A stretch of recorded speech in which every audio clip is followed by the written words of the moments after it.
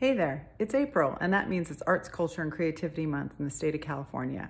I cannot think of a better time to celebrate and recognize the impact of arts and artists in our lives and communities. Now more than ever, we need the power of art to provide hope, comfort, entertainment, joy, humor, and empathy. We look to the arts to create shared experiences, to communicate difficult truths, and to build community. As we learn to shelter at home in order to save lives, we know arts will give us life. And once we return to gathering, arts will bring us together through performance, music, dance, poetry, and more.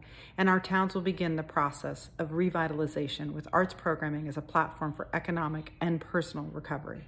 Arts are essential services, and artists are important investors in our community's ability to adapt and thrive.